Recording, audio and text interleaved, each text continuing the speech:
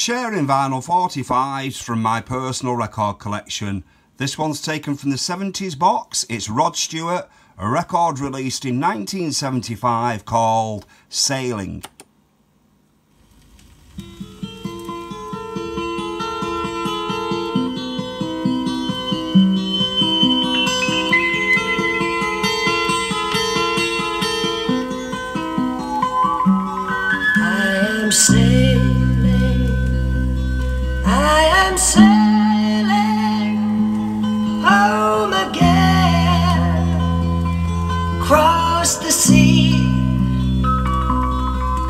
I am saved.